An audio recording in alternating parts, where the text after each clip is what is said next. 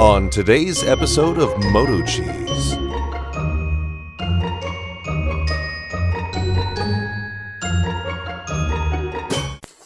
What's up, boys? Back in a mini truck again.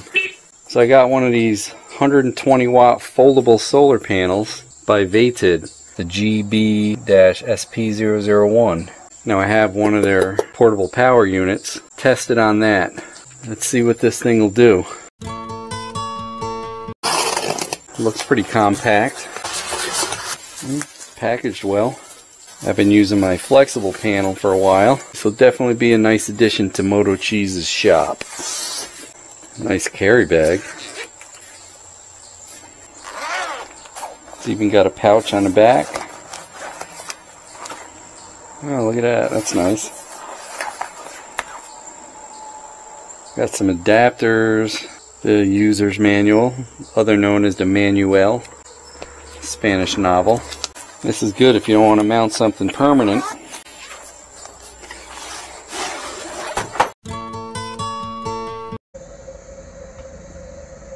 There's the outputs on it. It's like pass through if you have multiple units. XT60 output, DC 18 volts output, Type C, and a USB A. 5, 9, and 12 volts on the USB ports. They're monocrystalline solar panels with a 23% efficiency max. Peaks 120 watts. USB A QC 3.0. Type C QC 3.0. Then it has a regular output, 5 amps. XT60 output, 10 amps. An XT30, 10 amp in or out. And on this side, another XT30 in or out. It's a semi-sunny day.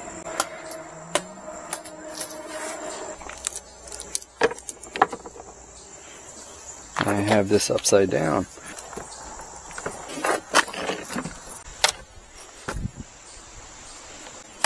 I see how this works. So it looks like it has four 30 watt panels to total 120 watts. Nice bag. Wow, look at all the adapters that comes with it. Looks like you could power just about anything.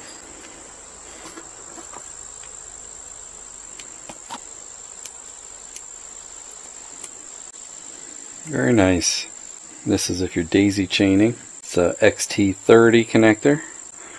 This is for the outlet right there. And this is the XT60 style solar connector with of course the same connector so you can run any of these for charging your portable power supplies and whatnot. So let's get out the Vatid 300 watt portable power station. I don't remember what the state of charge is on this. We're at 99%. So let's wear this thing down. A good way to drain this down, charge the battery up on my CJ. This Vatid 300 watt portable power supply. Give links for that down below too. Along with the solar panel of course. These are awesome little units to have. You never know how much you need one until the power goes out. Got a few clouds in and out. Let's try out this USB-C port.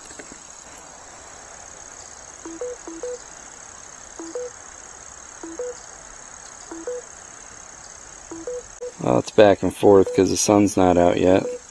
Come on, clouds. Got Hurricane Ian coming up this way too. This week, probably. There's the sun. Alright. Fast charging. Got a little green light right there that's being used. In standby mode, the indicator light is on for 3 seconds and off for 6 under working condition the lamp's always on. I can see there's a looks like a yellow light there. The overcurrent protection indicator is on for three seconds and off for six. So see it says 72% available fast charger connected. A few moments later. eh, it's been about a half hour. We're down to 75% battery. That's good enough to see how this charges. Gotta do it while the sun's still shining good so trying to figure out where to place the solar panel best to point at the sun, that big orange dot in the sky. So the best way I found out, best positioning to see the sun, if you take something like a magic marker, you see that shadow? So I gotta go down even further. Anything with a flat bottom will do, of course. I'll just wait for the sun to come back out and see if I got the right angle. So the sun's back out.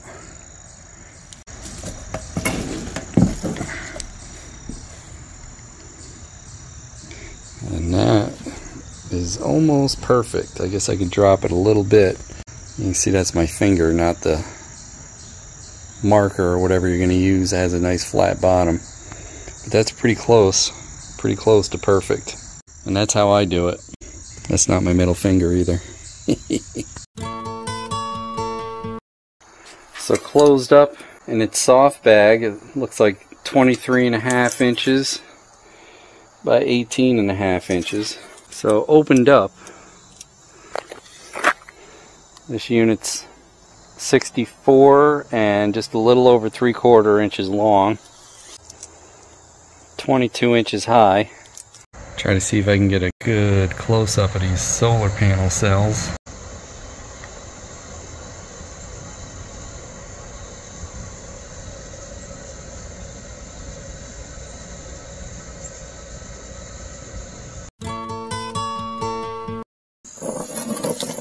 A little better. Now I'm liking this compact unit. I can keep this in my Jeep. Not that big. 120 watts. Let's see. I think they would have designed that a little bit differently so the plug doesn't block any of those solar cells. Let's see what we got. Plug into the MPPT port. Says we're doing about 58 watts. Almost 60 watts. So I got to keep moving them solar panels because of the trees. So even on a brick charger, block charger, it's only doing 57, 58 watts.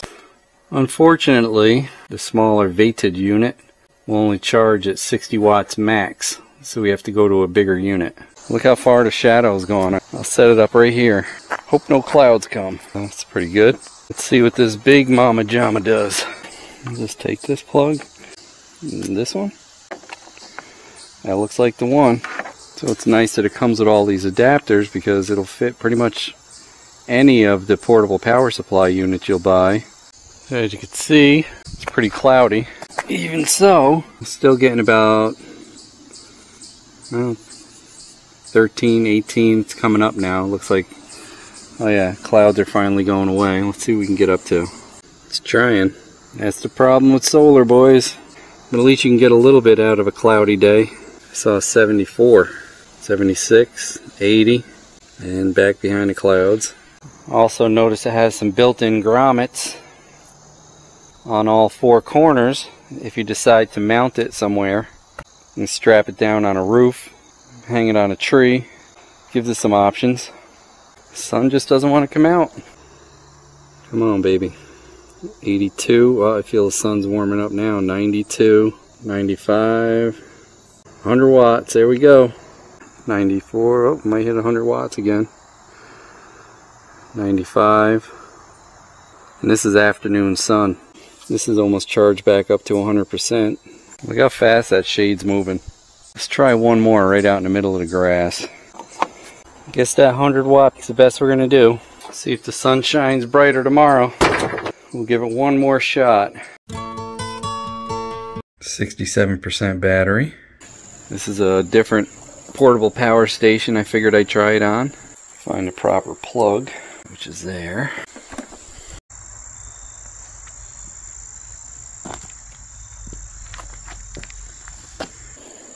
Well, 121 watts. 124. Wow, look at that. 125 watts. Nice. Now, sun's going back behind the clouds. Pretty cloudy day today. It's pretty good that that was pumping out more than 120 watts there for a little bit. Ooh, 125, 127, 128. Got a little break in the clouds and the sun's pumping pretty good right now. Not much of a break in the clouds. I'm impressed. And there it goes again. I was happy to at least capture that. Pretty impressive. See if we can get some more full sunlight. Might be a while. nice. Figure I'd pull this in a little bit just in case it rains. It's supposed to have scattered storms today. But it's holding consistent over 100 watts for the last five minutes. You can also hear the fan of the unit keeping it cool while it charges. And we're up to 70%. I've only had a couple little glimpses of the sun in the last hour. I'm going to put my hand over it and see what it does. Alright, that's just that much of my hand. Dropped it to 90, pull it back off, and see if it goes back up. Yep. So you definitely want to keep your solar panels clean. Like I said, a good sized leaf will drop quite a bit on most of these panels. So since there's a chance of rain, I looked up to see if it's waterproof and it says the product is IPX4 and can prevent small amounts of daily splashing. But please keep the unit away from moisture. Do not submerge the unit in water or operate the unit in the rain. Doing so may cause short circuits, electrical shocks, and fire. So we won't let this stay out if it starts to rain. pretty easy breakdown to store away.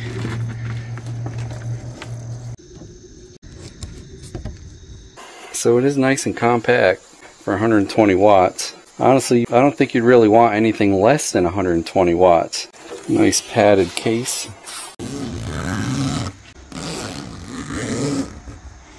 The only flaw I see is these output connectors have to cover part of the solar cells. I wish they would have made them maybe where everything come off the sides because as you know any little shaded area will drop the efficiency output. So I do like it. I think I'll keep it in my Jeep or in the van if I go camping. A lot more portable than a solid unit. I think four separate 30 watt cells is actually a pretty good idea too because if one cell's partially blocked you have three others working at full output. Some solar cells, you can have a leaf go on it and it'll drop it down almost 50%. So I'll have the link down below and on motocheez.com. If you want one, go get it. That's right. Hey, don't forget to like, comment, and subscribe. We'd love to hear what you have to say. Hit that bell if you want new notifications on new videos. Links for products used are in the description and on motocheez.com. Thanks for watching.